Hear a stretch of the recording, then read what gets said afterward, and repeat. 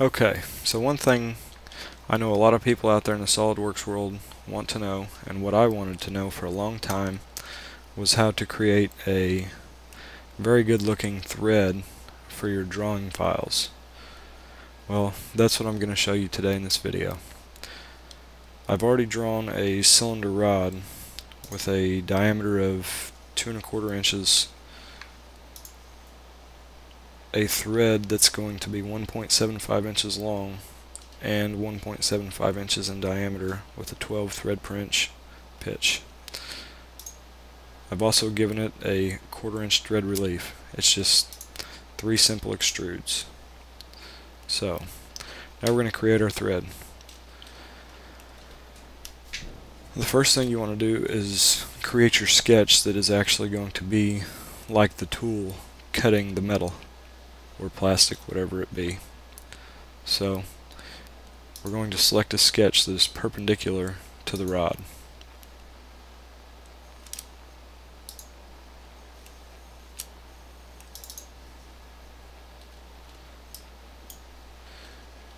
You want the very bottom of your thread to be even with your thread relief. So you can create a line bring it straight down from your thread relief. That gives you the bottom tip of your thread. And then it's going to max out, obviously, at the outside diameter of the thread. Now we're actually going to create the triangle that's going to be the cutting tool. Since we have 12 threads per inch, right now we're drawing half of the triangle. So we're going to have 1 divided by 24, which is half of the 12 threads per inch. And then, if you'll notice, I'm going to take off 5 thousandths extra.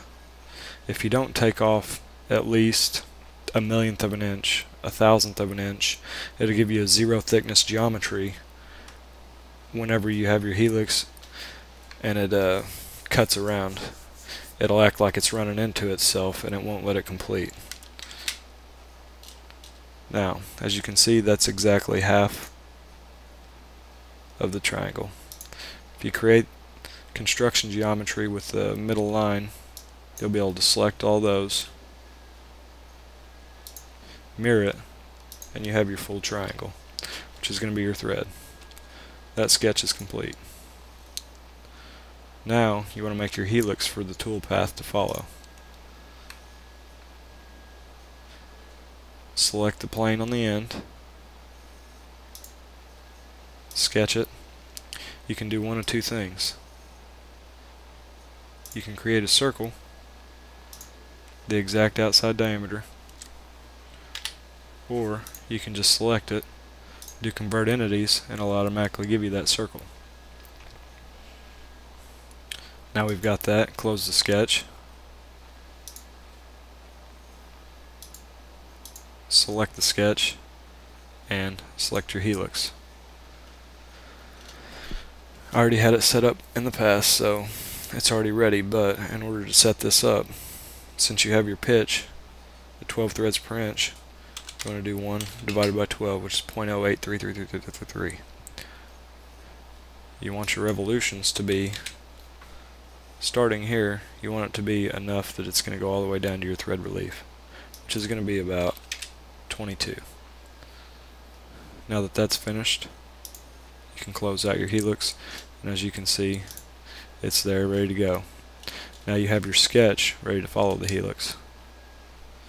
Now if you select control and click both of those, you can select the swept cut which will actually be like your tool following that path. Finish it. There you go. Sometimes you might have this little bit left over that looks like it's not totally cut everything off. You can go back to your helix, edit the feature, and put your start angle at zero. And that will make it just like the tool entered the part.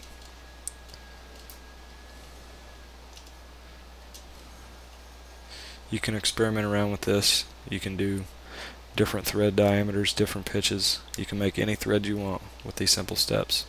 Thank you for watching. I hope you enjoyed I hope you learned something.